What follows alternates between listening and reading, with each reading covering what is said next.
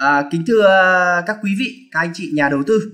Thì hôm nay là ngày 22 tháng 2 năm 2021 thì uh, báo chí đã rầm rộ đưa cái thông tin tập đoàn Hòa Phát uh, dự kiến đầu năm 2022 tức là khoảng một năm nữa sẽ triển khai giai đoạn 2 dự án khu liên hợp gang thép Dung Quất với cái công suất là khoảng 5 triệu tấn nào là lớn hơn so với giai đoạn 1 khoảng độ 1 triệu tấn. Thì uh, cái giai đoạn uh, cái điều này thì về cơ bản AZFIN cũng đã có có có dự báo trước ở trong các cái clip về đánh giá Hòa Phát ở thời gian vừa rồi. Thì ờ, uh, AZFIN cũng uh, trước đó thì cũng rất là mong muốn Hòa Phát sẽ bắt đầu triển khai từ cuối 2021 hay là đầu 2022 thì nó cũng gọi là sát nhau. Đấy là về về về cái thông tin hôm nay chúng ta nhận được nhận được và bây giờ là trước tiên thì ờ, vào nội dung chính thì trao đổi một chút. Vậy vì sao mà Hòa Phát lại rất là máu me ờ, rất là mạnh mẽ trong cái việc mở rộng ngay cái ờ, dung quất giai đoạn 2 như thế này?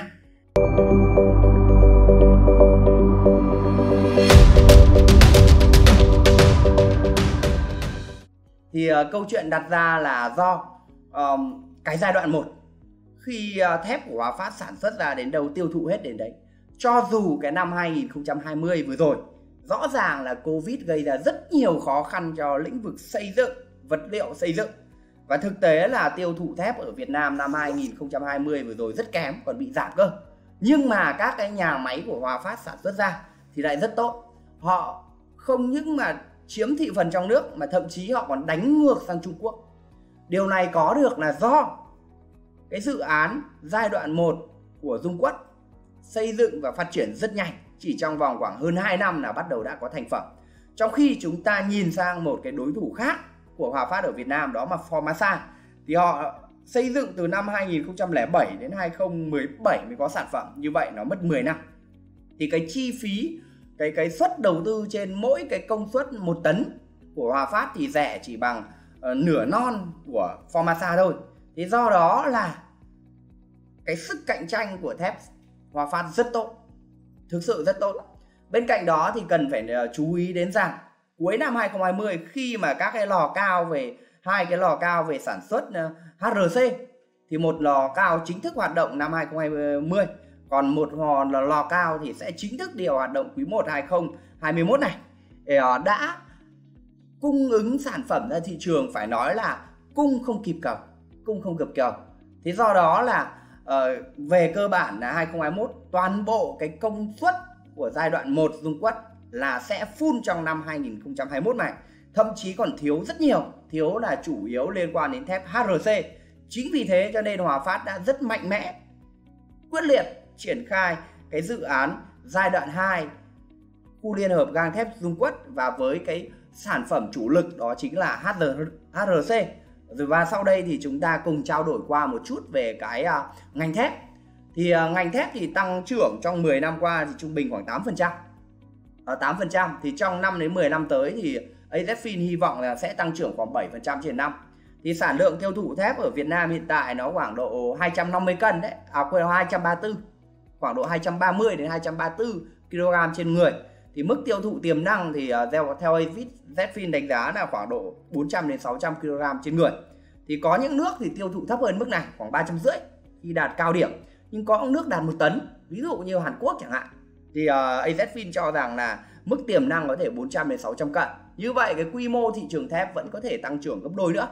Đó và thép xây dựng hiện tại thì uh, cung lớn hơn cầu một chút lớn hơn cầu một chút khi mà cũng có Dung Quất rồi Việt Mỹ rồi rất nhiều đối tượng đến và sẽ được cân bằng thì đến 2022 sẽ cân bằng. À, HRC thì cung nhỏ hơn cầu rất nhiều.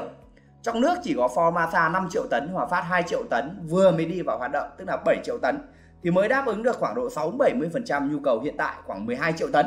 Thì dự kiến khoảng 2-3 năm tới thôi thì nhu cầu HRC có thể lên 13-14 triệu tấn. Như vậy cái HRC này cung nhỏ hơn cầu rất nhiều và nó cũng phản ánh cái việc mà thép Hòa Phát đã cháy hàng và chỉ cung cấp được một phần nhỏ so với cái nhu cầu đặt hàng của các cái uh, đơn vị ở trong nước tiếp theo là thép xây dựng tôn mạ thì cạnh tranh khốc liệt thì HRC thì lại cạnh tranh không đáng kể đấy thì doanh nghiệp dẫn đầu ngành là chính là Hòa Phát thì gồm có uh, thép xây dựng là số 1 này, ống thép là số 1 này, HRC thì hiện tại là số 2 chỉ sau Formasa. Nhưng mà cái dự án giai đoạn 2 dung quất vào hoạt động thì Hòa Phát có thể lên số 1. Về uh, dẫn đầu tôn mạ thì có Hoa Sen. Đó.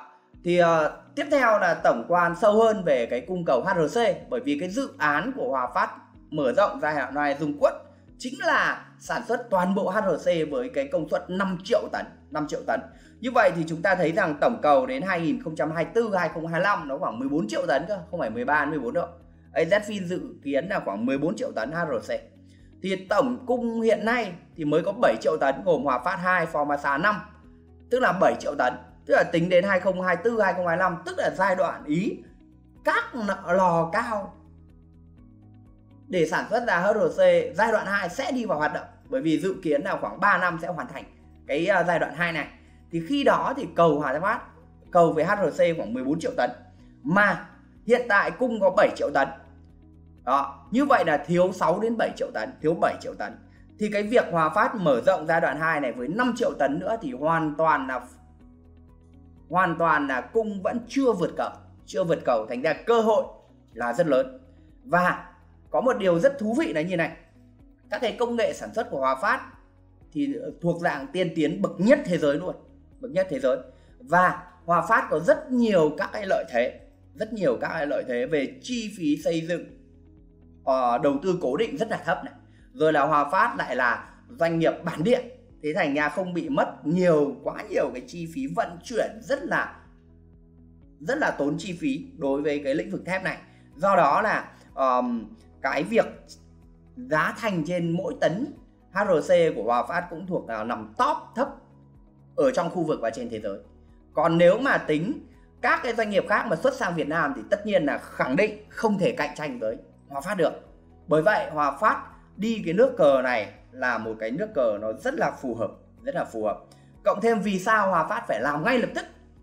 Đó là Hòa Phát cũng đề phòng rằng sẽ có một đối thủ khác biết đâu nó có thể nhảy vào nó làm nhảy vào làm chẳng hạn nó nâng công suất đây thì nó chiếm lĩnh luôn cái thị phần này thì khi đó 2 triệu tấn HRC của Hòa Phát nó không vào đâu cả chính vì thế cho nên nếu mà Hòa Phát triển khai từ đầu 2022 thì Phục khẳng định rằng nó sẽ không có đối thủ nào dám dám mở rộng đầu tư HRC lớn nữa khi đó Hòa Phát là người đi tiên phong và họ sẽ chiếm lĩnh cái thị trường HRC này thì khi 2 triệu tấn đó vào hoạt động thì Hòa Phát về cơ bản sẽ chiếm 50% HRC ở toàn Việt Nam, toàn Việt Nam. Thì rõ ràng là chúng ta nhìn thấy cung cầu tạo ra cơ hội cho Hòa Phát. Và Hòa Phát đi như thế, mở rộng như thế, đầu tiên là mở rộng đúng cái lợi thế cạnh tranh của mình đấy.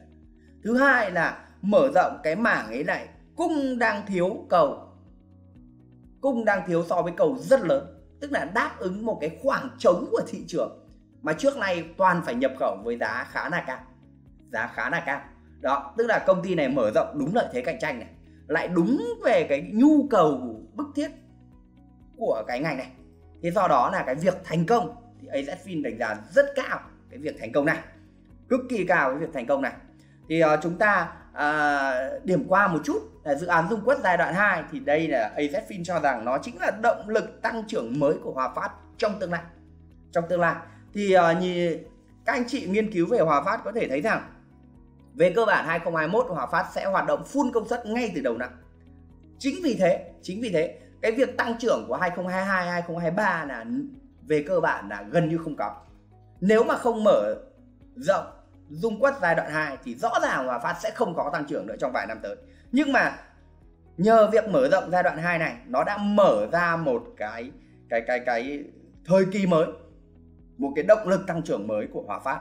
Thì uh, với cái khu uh, liên hợp uh, gang thép dung quất giai đoạn 2 thì uh, AZFIN ước tính như sau tổng vốn đầu tư thì AZFIN ước tính khoảng 65.000 đến 80.000 tỷ đồng thời gian xây, xây dựng thì AZFIN ước tính là có trong khoảng 3 năm thì như vậy là mỗi năm Hòa Phát uh, trung bình đi cho nó dễ Hòa Phát sẽ phải chi ra khoảng 25 ngàn tỷ 25 ngàn tỷ.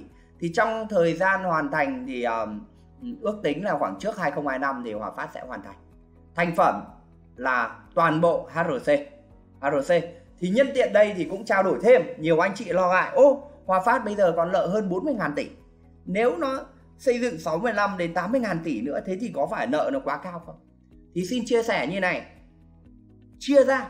Mỗi năm Hòa Phát chỉ cần thêm hơn 20.000 tỷ ở đây thôi. Được chưa? Thì với cái lợi nhuận 2020 2021 ước tính của Hòa Phát phải được khoảng độ 18.000 tỷ sau thuế. Ngoài ra cộng thêm với cái chi phí khấu hao khoảng độ 3-4.000 tỷ nữa. Thì như vậy riêng cái dòng tiền dòng tiền đến từ các cái dự án hiện tại, hàng năm của Hòa Phát về cơ bản là gần đáp ứng đủ cái nhu cầu, cái nhu cầu mở rộng giai đoạn 2 của Dung Quất. Nếu nó có thiếu thì Phục cho rằng cũng chỉ thiếu khoảng độ dưới 5 ngàn tỷ một năm mà thôi. Thì khi đó Hòa Phát vay thêm vài ngàn tỷ một năm, 23 ngàn tỷ, 5 ngàn tỷ một năm thì nó rất nhỏ. Bởi vì sao? Bây giờ vốn chủ sở hữu là 55 ngàn tỷ, lợi nhuận một năm gần 20 ngàn tỷ, tức là lên hơn 70 ngàn tỷ. Nợ vay bây giờ khoảng độ 42 ngàn tỷ, mà thêm độ 5 ngàn tỷ là 47 ngàn tỷ. Thì so với cái vốn chủ sở hữu, nó lên đến 70 mấy ngàn tỷ thì tỷ lệ lợi vay rất thấp. Ngoài ra dòng tiền của Hòa Phát thực sự rất lớn. Thế thành ra nó chúng ta không phải lo ngại vì về cái vấn đề là liên quan đến nợ vay. Thậm chí nếu Hòa Phát mà cơ cấu tốt, cân đối tốt thì xin thưa mấy anh chị là Hòa Phát có thể không cần vay thêm một xu nào mà vẫn duy trì tỷ lệ khoảng chỉ khoảng hơn 40 ngàn tỷ. Trong khi vốn chủ sở hữu hàng năm sẽ tăng khoảng gần 20 ngàn tỷ do lợi nhuận sau thuế đến.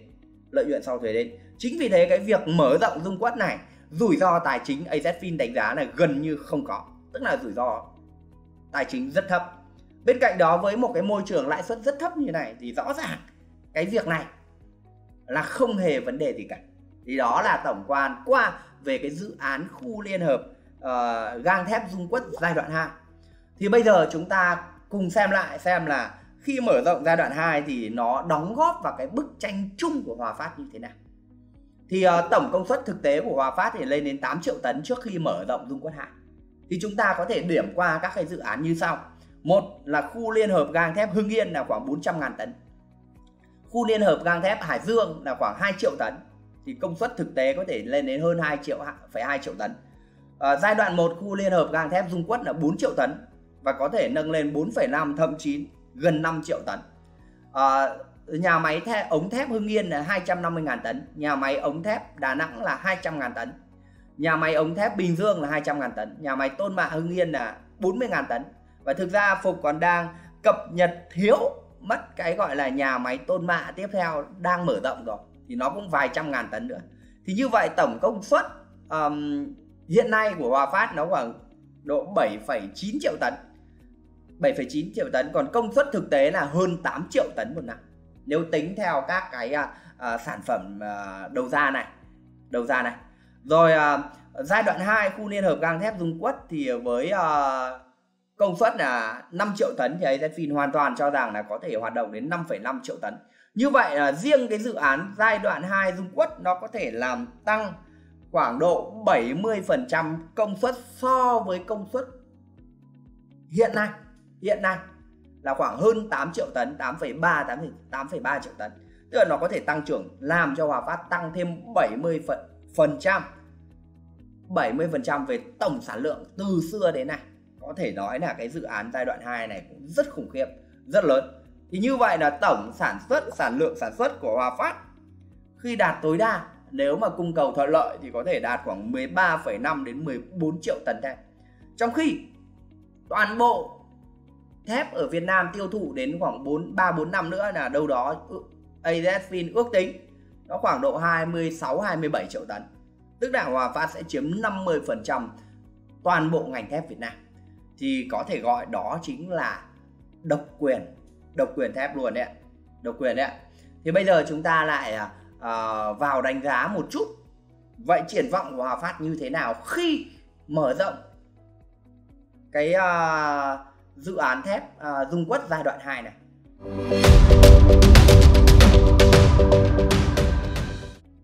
Thì đầu tiên AZFIN khẳng định đó là cái vị thế độc quyền thép ở Việt Nam.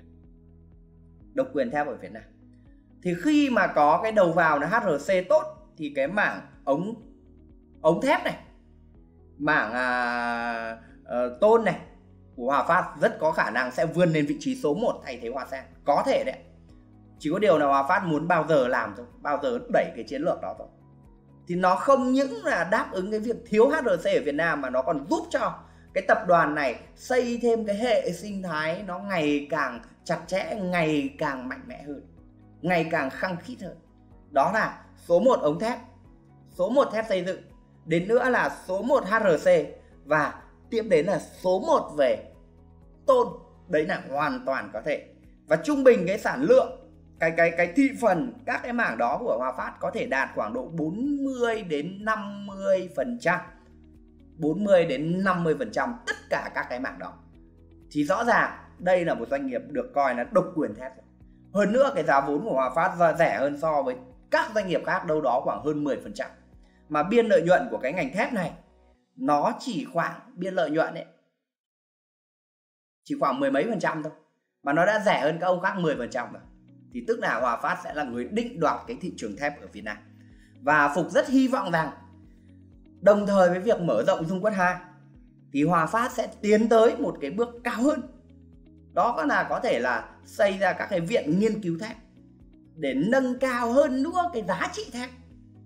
Đó, trước tiên là độc quyền về những cái thép thô, thép cơ bản, rồi dần dần nâng cao dần. Ví dụ thép HRC các thứ cũng là một cái cái cái việc nâng cấp so với thép xây dựng đấy chứ rồi tiếp theo là đến việc là các cái thép đặc biệt, các cái thép phải nhập khẩu, các cái thép chất lượng cao. Thì nếu Hòa Phát làm được đó, thế thì nó không chỉ đơn thuần là một doanh nghiệp thép đâu ạ. Mà nó là một cái doanh nghiệp gọi là một tập đoàn đa ngành, đa lĩnh vực tổng hợp và trong đó thép là cốt lõi. Nhưng thép ở đây là mang tính chất là liên quan đến sâu và công nghệ cao, chứ không phải là thép đơn thuần như chúng ta thường nghĩ về nó. thì Phục rất hy vọng là Hòa Phát sẽ nâng tầm mình trong khoảng 3 đến 5 năm nữa, nâng tầm mình lên là một tập đoàn công nghệ cao trong cái lĩnh vực thép này. Công nghệ cao luôn thì lúc ý giá trị gia tăng nó đến với Hòa Phát nó sẽ không hề đơn giản. Và từ cái việc dự án này à, sẽ triển khai như vậy thì à, tốc độ tăng trưởng trung bình lợi nhuận lợi nhuận trung bình lợi nhuận nhỉ tất nhiên sẽ có năm đuối nó có thể tăng trưởng chậm hơn hoặc thậm chí giảm một chút nhưng lại có năm tăng mạnh hơn.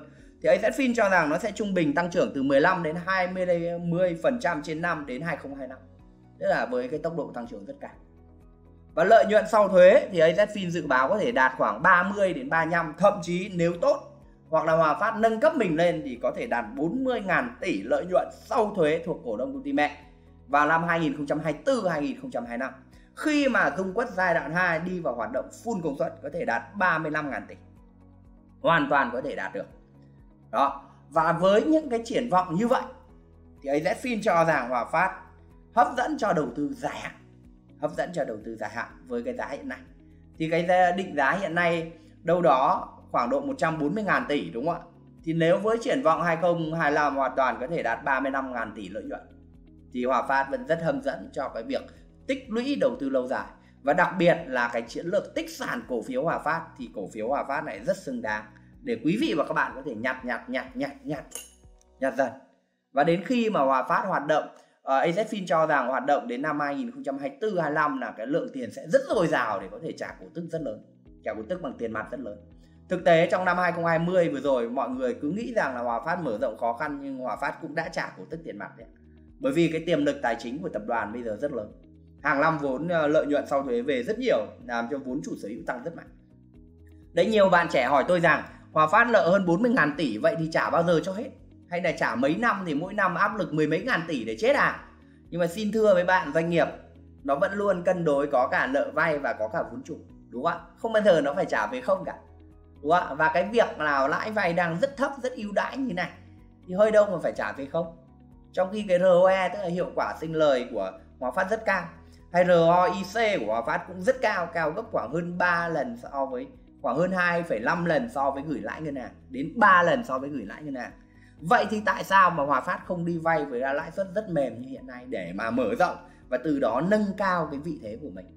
Thì cái câu chuyện Hòa Phát mở rộng cái giai đoạn 2 của Dung Quất này không chỉ là giúp tăng tăng cái công suất công suất không chỉ giúp tăng cái công suất về cơ học chúng ta nhìn thấy đó là đó là 8, mấy triệu tấn cộng thêm 5,5 là 13,5 triệu tấn đâu mà nó còn làm cho cái lợi thế cạnh tranh của Hòa Phát ngày càng mạnh hơn khi cái hệ sinh thái sản xuất của họ khép kín khi họ chiếm được vị thế độc quyền ở Việt Nam. Nhờ cái dự đoán án Dung Quất này. À, thì cảm ơn quý vị. À, nghe. Thì bây giờ thì Phục sẽ giải đáp một số cái à, thắc mắc của quý vị. Thì mời quý vị comment. Thì Phục sẽ trao đổi giải đáp khoảng độ uh, một lúc nhé Vâng ạ. Mời các anh chị uh, comment ạ. Thì để chúng ta sẽ cùng trao đổi ạ đúng rồi đúng rồi bạn kiên có bảo là à, thiết kế 3 triệu HRC nhưng mà tùy nhu cầu có thể cân đối đúng không ạ? À, thì nhân đây thì à, trong cái clip về Hòa Phát đợt trước thì Phục cũng chia sẻ rất kỹ rồi thì Hòa Phát có một điều thú vị là như này họ có thể thay đổi cái sản phẩm đầu ra. Không quá khó khăn họ có thể thay đổi sản phẩm đầu ra. Khi cân đối giữa các cái sản phẩm sản phẩm nào mà dư quá thì họ lại chuyển sang sản phẩm khác. Thì ngay cả các cái uh, lò cao mà sản xuất thép xây dựng chẳng hạn. Nếu thép xây dựng thừa quá thì hoàn toàn họ có thể điều chỉnh làm cho cái HRC tăng lên. Thì thực tế họ đã làm cái điều đó cuối 2020 rồi họ đã làm cái điều đó rồi. Đó thì đấy là một điều rất thú vị của Hòa Phát nữa. Đó tức là họ ờ, cái um, sản phẩm nào mà dư thừa quá thì họ có thể chuyển đổi sang cái sản phẩm thiếu hơn. Đó thì đấy là một cái sự linh động trong dự án à, rất là tốt. Thì đấy cũng là một trong những yếu tố chúng tôi đánh giá về cái vị thế cạnh tranh của cái tập đoàn Hòa Phát này. Đó. Ok cảm ơn Kiên. Vâng vâng. Vâng chào các anh chị ạ. Vâng mời các anh chị các anh chị có trao đổi nào ạ? Ô Hòa Phát mà kết hợp với FPT thì quá khủng. Ôi chết rồi Hòa Phát mà làm thép mà kết hợp với FPT thì mệt đấy đúng không vâng thì đấy là bạn kết hợp danh mục thì uh, à, đó cũng là một điều rất thú vị ạ. Bạn Nguyễn Vương có hỏi là anh đánh giá uh, của của Hòa Phát hiện tại đã quá cao chưa? Thì uh, với cái tầm nhìn ngắn hạn thì uh, AZFIN không đánh giá. Nhưng mà rõ ràng tầm nhìn dài hạn một cái tập đoàn độc quyền trong một cái lĩnh vực gọi là đang tăng trưởng và phát triển này có lợi thế cạnh tranh gần như tuyệt đối so với các đối thủ khác. Thì AZFIN cho rằng định giá của Hòa Phát trong dài hạn là vẫn rất rẻ không có gì phải đắt cả vẫn rất rẻ. Vâng ạ vâng ok. Vâng anh Bùi Công Hiếu tích được 20k Hòa Phát rồi. Wow tuyệt vời. Chúc mừng anh nhé gần tỷ bạc uh, riêng Hòa Phát. Vâng anh uh, Lê Thiên Ân có hỏi là rủi ro môi trường ảnh hưởng lớn không phục? À, thì đây cũng là một cái rủi ro lớn nhất đối với các cái tập đoàn công nghiệp nặng à, cho dù Hòa Phát có có họ sử dụng công nghệ hiện đại đến mấy có xử lý gọi là quyết liệt đến mấy và xử lý tốt đến mấy thì rõ ràng lĩnh vực công nghiệp nặng này ô nhiễm là không thể tránh khỏi. Ô nhiễm là không thể tránh khỏi. Thì uh, trong dăm 7 năm tới thì về về cái việc là ưu tiên cho phát triển cho phát triển công nghiệp nặng thì AZFIN cho rằng cho rằng các cái chính sách của chính phủ thì vẫn vẫn không đủ, vẫn không đủ. cộng thêm là Hòa Phát thì cũng đã tính toán đến những cái việc này rồi. Thì trong những lần uh, gặp uh, cổ đông thì uh, Phục cũng như là một số anh chị em cũng có trao đổi về cái uh, lo ngại về cái uh, cái môi trường này. Thì ban lãnh đạo Hòa Phát thì họ cũng cho rằng là họ cũng tính hết rồi. Và họ cũng đưa ra các cái tiêu chuẩn rất là cao, rất là khắt khe cho tập đoàn mình. Để sau này có siết chặt hơn thì họ vẫn vẫn đáp ứng tốt, vẫn đáp ứng được tốt. Thì cái câu chuyện này thì cũng không thể khẳng định 100% là là là là là xử lý được. Nhưng mà AZFIN cho rằng là trong 5 năm tới thì cái rủi ro này nó cũng chưa lớn chưa lớn. Và nếu có rủi ro thì Hòa Phát cũng sẽ xử lý được. Bởi vì xét trên mặt bằng sản xuất thép chung ở Việt Nam thì về cơ bản Hòa Phát. Là một đối tượng có công nghệ, có xử lý, nước thải xử lý các thứ thuộc dạng tốt nhất rồi, tốt nhất rồi. Nó là tốt nhất rồi, thì chúng ta cũng phải so sánh tương đương với ngành một chút. Thì do đó là cái ảnh hưởng của đến Hòa Phát, môi trường trong vài năm tới AZFIN đánh giá là chưa cao chưa cao. Nhưng mà phải nói là rủi ro này là rủi ro lớn nhất. Bởi vì dù gì thì dù chuẩn đến đâu thì chuẩn, thì làm thép vẫn tạo ra ô nhiễm không thể nói là không được. Nhưng mà ô nhiễm là cho phép cho phép được. Ok à, uh, Mr. Kubin có hỏi giá hiện tại uh, bao nhiêu thì mua được? Nếu mà bạn tích sản thì cứ giá hấp dẫn mua thôi. Và hiện tại là hấp dẫn cho dài hạn. Chứ AZFIN không bao giờ khuyến nghị trong vòng 3 tháng hay 6 tháng hay dưới một năm cả. Mà chúng ta cần có tầm nhìn dài hạn. Đúng không ạ? Vâng anh Đỗ Đặng Thức có có lên mua tăng cường cổ phiếu Hòa Phát không phục nhỉ? Thì cái này phải tùy tùy vào cái việc uh, uh, niềm tin và cái khả năng phân tích đánh giá của anh về Hòa Phát. Anh tin đến đâu? Cộng thêm là anh hãy phân bổ ra bao nhiêu cổ và mỗi cổ bao nhiêu. Thì chúng ta không phải là chúng ta nghĩ rằng Hòa Phát quá hấp dẫn mà chúng ta lại phân bổ ôn in hay toàn bộ. Đấy là một điều rất rất rủi ro. Đó là một phần thôi ạ. Ờ, à, Mr. Hiếu Hoàng hỏi là tại sao khấu hao tài sản cố định làm giảm lợi nhuận của doanh nghiệp vậy anh? Thì khấu hao tài sản cố định là chi phí đúng không ạ thì nó sẽ làm giảm lợi nhuận thôi ạ. Vâng, anh à, Bùi Công Hiếu có cung cấp một lợi thế rất lớn của Hòa Phát là có cảng nước sâu giảm chi phí à, vận chuyển xuất à, xuất nhập khẩu đúng không ạ? Vâng đúng rồi ạ. Cái cảng của Dung Quất ờ, nói chung là làm cái quy mô lớn như Hòa Phát thì phải có cảng. Formosa nó có cái cảng nước sâu riêng của nó. Ok bạn Phương Hoàng hỏi FPT lên quá chuyển mua thêm Hòa Phát hả bác? À đấy là tùy vào chiến lược của bạn thôi ạ. Bạn Quách Hiền có hỏi là đánh giá thêm về cạnh tranh à, thép à, nhập khẩu từ Trung Quốc với ạ nhất là khi à, thuế áp lên thép Trung Quốc được gỡ. À, thì thực sự cái vấn đề này thì cũng không phải lo ngại đâu ạ. Về cơ bản là với cái quy mô và cái công suất hiện tại cộng thêm cái việc là Hòa Phát là triển khai dự án phải nói là thần tốc. Thì bên để mà làm được cái thần tốc này thì Hòa Phát uh, đã lấy lại cái dự án đã làm hạ tầng của một đối tác nước ngoài ngày xưa xây dựng Hòa Phát và hình như là họ bị khó khăn bị phá sản gì đó. Thì Hòa Phát lấy lại cái đó. Thế thành ra triển khai rất nhanh. Rất nhanh rất mạnh rất quyết liệt. Thế thành ra cái chi phí vốn nhá mọi người lưu ý chi phí vốn giả định mọi người kéo dài 15 chi phí vốn đội lên gần gấp đôi. Gấp đôi. Nhưng mà nếu mà mọi người triển trong 3 năm như Hòa Phát 2,5 năm như Hòa Phát thì chi phí vốn rất thấp. Các thứ rất thấp rồi công nghệ hiện đại rồi mọi thứ đi kịp chính vì thế chính vì thế cho nên cái chi phí sản xuất trên mỗi tấn thép của Hòa Phát rất thấp. Cũng thuộc dạng top là khoảng độ 20% thấp nhất thế giới rồi đấy cũng không đơn giản.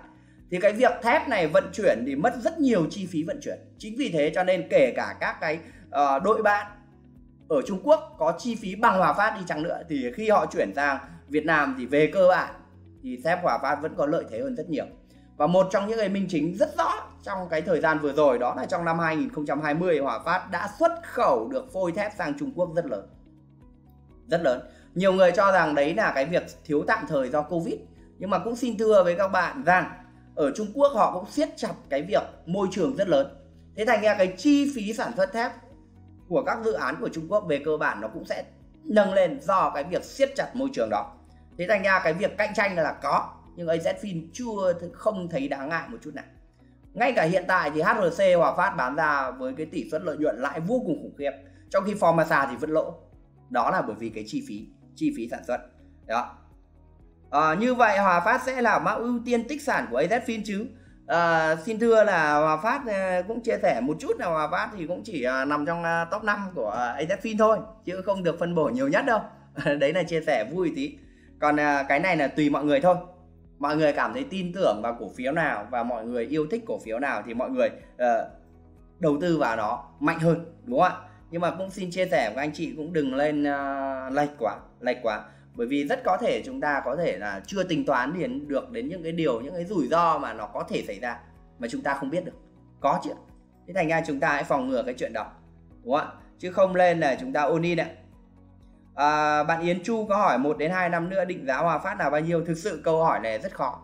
AZFIN đầu tư dài hạn thành ra là AZFIN cho rằng là lợi nhuận của Hòa Phát đầu tư cổ phiếu Hòa Phát trong mỗi năm thì AZFIN cho rằng trong mấy năm tới thì ờ, lợi nhuận trung bình mỗi năm chắc nó sẽ không dưới 15 đến 20 phần trăm. Thế do đó là cứ hấp dẫn thì AZFIN mua thôi chứ không hẳn là uh, định giá được một hai năm tới nó sẽ về bao nhiêu. Điều đó rất khó bởi vì nó còn phải sự phụ thuộc chung vào cái nền kinh tế chung phụ thuộc vào thị trường chứng khoán và thụ trược phụ thuộc vào rất nhiều các cái yếu tố khác nữa. Đó. Vâng anh Lê Thiên Ân này có hỏi là đánh giá về cái việc áp dụng công nghệ trong Hòa Phát để giảm chi phí như nào?